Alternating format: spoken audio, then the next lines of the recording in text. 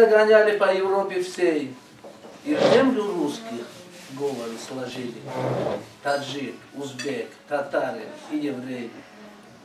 Мы чтим благословленный дух народа, с Россией ради, и душа болит.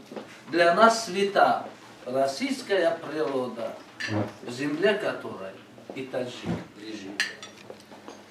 В земле которой и таджик лежит. Это дружная семья, вот э, до сих пор мы помним, у нас очень много русских жили. Особенно в Кургантубе, где я родился, там э, нашу деревню, можно там называли хутор. Потому что там русских много было, немцев много было. И мы очень дружно жили. И вот э, сегодня потихоньку-потихоньку мы начинаем вот это все восстановить у нас. Вот эти связи дружеские, все остальное. Вот Владислав тому живой пример.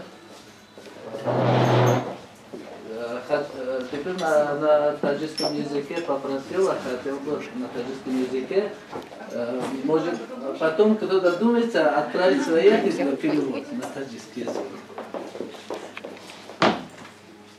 ту байтҳои шери ман ватан ту модари ба ҷон баробарам ту буди ман набуди ман туи ҳама вуҷуди ман ҳазорсолаҳо туро ки чанг мезанад адуи ту ба ҳар баҳонае чу санг мезанад ба сӯи ту вале ба ту намекунад асар. Чаро ки ҳафт пушти ман туро шуда сипар туро шуда сипар. Ватан ватан манам зи ту туи иззи ман ту тоҷи ман ту тахти ман туи ягона бахти ман. Ҷароҳати туро ба дастҳои худ ба ҳам кашам. Ҷароҳати туро ба дастҳои худ ба ҳам кашам. Бидӯзамад ба риштаҳои ҷон. Бисозамад зи нав вагарна бе ту ман нафас намекашам. Бисозамад ба лолаҳои осуман ба хишти меҳри мардумон ба пораҳои ҷону тан